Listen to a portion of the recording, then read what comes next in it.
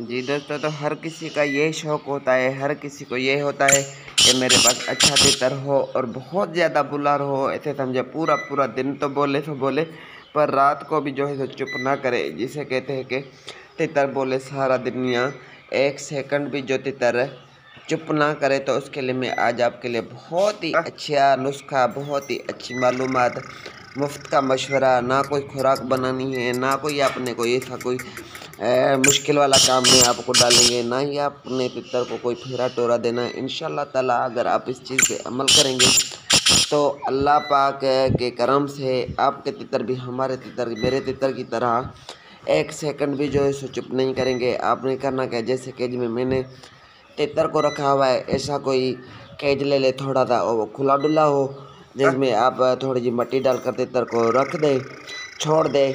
अगर डर दे तो कपड़ा लगा अगर बेडर है तो ऐसे ही छोड़ दें। ठीक है भाई इन शाला आपके तितर सारा दिन